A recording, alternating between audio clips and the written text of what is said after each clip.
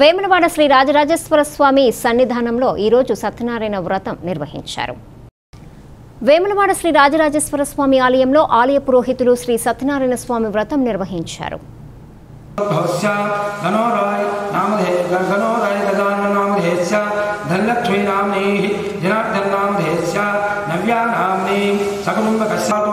ముగ్గులు పెట్టి అతని మంటపాన్ని స్తంభాలతోనూ మామిడి తోరణాలతోనూ దానిపై నూతనత్రం పరిచి దానిపై బియ్యం పోసి దానిపై కలశాన్నించవలనయ్య ఆ కలుషం పై భాగాన సత్రాస్య ఆ ప్రతిమ వెండిదే గాని మట్టిదే గాని ఇత్తడిదే గాని బంగారుదే గాని శివుడికి శక్తి లేకుండా చిత్రమైన కూడా పంచామృతాలతోని సానువు గావించి మంటవందించవలనయ్య మొట్టమొదటిసారిగా విఘ్నేశ్వరుడు గౌరీ పూజ నవగ్రహాలను పూజించుముట సత్యనాస్వామిని పంచామృతాలతోని స్నానము గావించి మండవందించవలనయ్యా అటుపిమ్మట బ్రాహ్మణుడు చెప్పిన కథలు శ్రద్ధగా